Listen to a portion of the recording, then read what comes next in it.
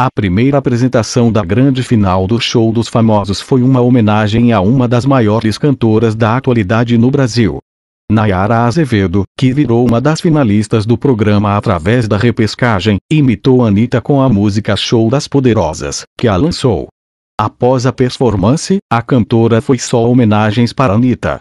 Tenho que comer muito arroz com feijão para chegar lá, porque ela é maravilhosa. E o Brasil inteiro sabe disso. Mas isso de se firmar, romper barreiras e o preconceito isso para mim é uma bela inspiração, destacou Nayara.